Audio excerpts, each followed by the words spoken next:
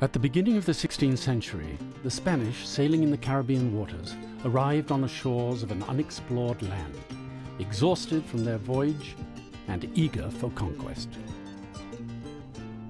Costa Rica holds wondrous treasures they could not imagine. Not in minerals beneath the soil, but in every droplet of rain that falls on the thriving greenery of the jungle canopy. In every exotic bird that soars through the treetops. Each tiny critter, blooming orchid, and sparkling stream create untold wealth. Under the shelter of isolation, humbled by the magic of the landscape, the nation quietly blossomed. Costa Rica is a country of character, of equality and peace, bursting with vibrant colors and sensual flavors. Everything is, as the locals say, pura vida, pure life. I'm Damon Redfern, a traveler wandering through a wilderness. Seeking? Well, just seeking.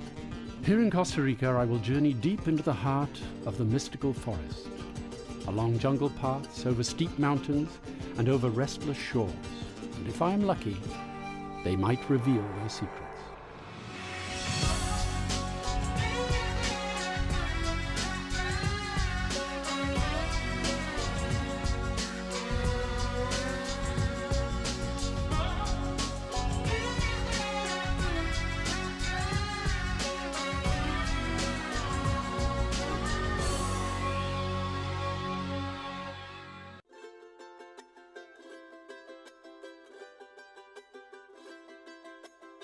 Costa Rica is bordered by Nicaragua to the north and Panama to the south, a relatively tiny landmass, and yet it boasts nearly 5% of the world's biodiversity. Costa Rica ranks number one on the Happy Planet Index, which scores countries on the eco policies, which not only preserve the environment but nurture the population as well. At least 25% of the land is designated as protected territory. No other nation treats their landscape with so much love, and Costa Ricans are happier for it. Tourists are drawn to the energy here, arriving in droves to forge their own connection with the environment.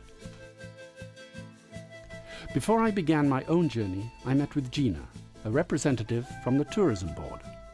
Gina, could you tell me something about the philosophy behind the certification of sustainable tourism here in this country? Costa Rica has been worried about conservation forever. You know, we started many years ago, and um, when we uh, decided to protect our land, to declare 25% of our land as protected areas, we had to do something to make these uh, areas produce. You know, you cannot protect something if it's not sustainable. We wanted to promote sustainable tourism in any other kind of tourism, in any other niche. So for um, to have sun and beach sustainable and um, business tourism sustainable, we needed to create some label to re really dif differentiate uh, the businesses that were really sustainable from the ones that were just greenwashing. So we created this um, seal. In an effort to protect the environment, the land became their livelihood and transformed into a deep-seated passion. No longer by obligation or virtue, Costa Ricans cradle their natural world as a vital piece of their soul. What impact did it have on the businesses or the companies that were involved? At first it was mostly people who did that because of the philosophy. But now um, we've been working to really help them use this as a marketing strategy. So Costa Rica has been uh, recognized as like the, the epicenter of ecotourism and sustainable tourism. So these businesses use this um, field to uh, differentiate themselves. And what are your goals? We hope we're going to be a carbon neutral destination by the year 2021. We want to get more and more of the, of the different hotels and tour operators uh, to join the, the, the label.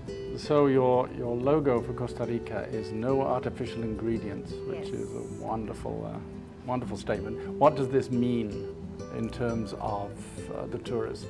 It means that, you know, for us, nature, you know, is what you're going to enjoy here. You don't need to add anything. Even though we do have, you know, comfort, you know, um, your, your visit can be very comfortable and everything. Uh, it's all about nature. It's all about, you know, natural things. You, know, you can enjoy um, Pure life. pure life. no artificial ingredients. What is your definition of pura vida? Everything's well, you know, we are very positive and we are really happy people because we've been lucky. We love to have people come and, and share with us this magic that we have in, in our corner of paradise.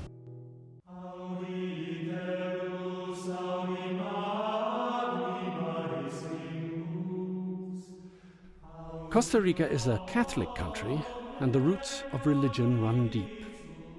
Villages, large and small, have a westward facing church where congregations gather faithfully for spiritual guidance and social connection. But Costa Ricans are open minded and tolerant of all religious practices. Faith is not a dividing presence.